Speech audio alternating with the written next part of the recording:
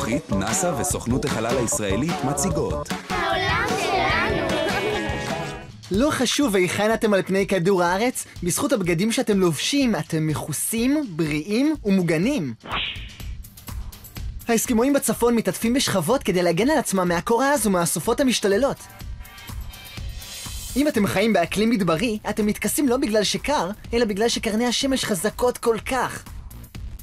תאמינו או לא, לאחד הלוויינים של נאס"א יש אותה בעיה בהתמודדות עם הסביבה. בדיוק כמו שהבגדים מגינים על הורינו ועוזרים לנו להתגונן מפני איתני הטבע, רוח החורף הקרה, שמש הקיץ היוקדת, שמיכות טרמיות מגינות על הלוויין האבל בתנאי חלל הקשים. אפשר לומר שהשמיכות הטרמיות הן הבגדים של החללית. אבל למה יצטרך לוויין בגדים? בואו נחקור עוד קצת. הלוויין האבל מקיף את כדור הארץ במהירות של 8 קילומטרים לשנייה. זה אומר שהוא מקיף את כדור הארץ הקפה מלאה ב-97 דקות. הוא משלים כ-15 הקפות שכאלה בכל יום. כשהלוויין האבל עובר דרך החלק המוצל של כדור הארץ, ואז לצד שהשמש מאירה, ושוב לצד המוצל, הטלסקופ נחשף גם לקור המקפיא של החלל, וגם לחום השמש החזק בסיבוב החוזר שוב ושוב. השכבה החיצונית של השמיכה הטרמית משתנה ב-118 מעלות צלזיוס, כ-245 מעלות פרנהייט, בכל 45 דקות. אז השמיכה חייבת לבודד את הציוד של ההאבל ולהגן עליו מטמפרטורות קיצוניות שכאלה. אם כך, איך שמיכת ההאבל עושה זאת? החומר ששמיכות הטלסקופ עשויות ממנו מורכב מ-16 שכבות אלומיניום, ובהן גומות המכוסות בטפלון חיצוני. הגומות באלומיניום נראות כמו ברדיד האלומיניום הזה. אתם רואים את ההבדל? הגומות מאפשרות למתכת להתכווץ או לקטון בקור, ולהתרחב או לגדול בחום, בלי לסדוק את המתכת. טפלון עמיד בטמפרטורה גבוהה, והוא מבודד מעולה.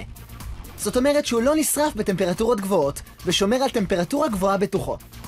השמיכות הטרמיות מספקות הגנה טובה למכשירים שעל הסיפון בשינויי הטמפרטורה הקיצוניים.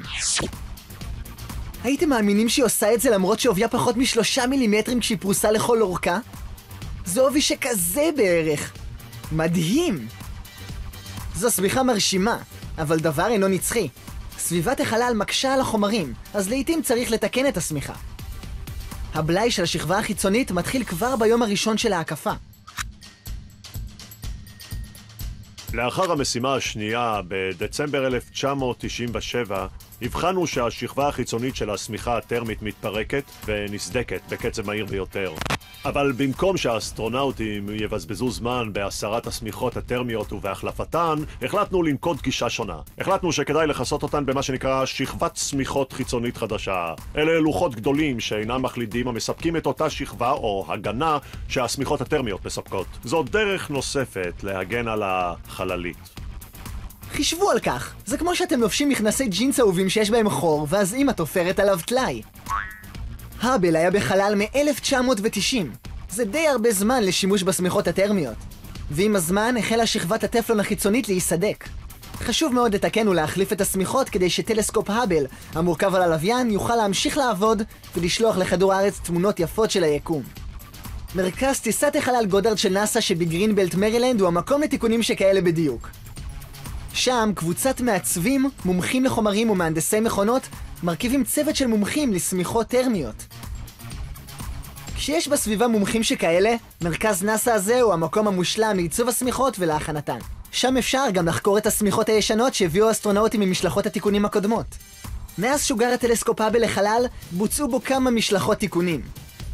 הידע שהושג בזכות השמיכות הטרמיות שהוחזרו לכדור הארץ מהמשלחות האלה, עוזר למדענים ולטכנאים לפתח שמיכות טובות יותר לעתיד. והידע החדש הזה אינו משמש רק את ההאבל, הוא נועד גם למשלחות עתידיות לחלל. שיתוף מידע ונתונים הוא רק אחת הפעולות שנוקטים המהנדסים בגודארד כדי לוודא שחלליות העתיד יחזיקו זמן רב בחלל. במילים אחרות, העבודה שנעשית בנאס"א תעזור להאבל ולמשלחות נוספות לעשות את מה שהם עושים הכי טוב, חקירת היקום. ודרך אגב, אל תשכחו ללבוש את הבגדים המתאימים גם כשאתם חוקרים את העולם שלנו.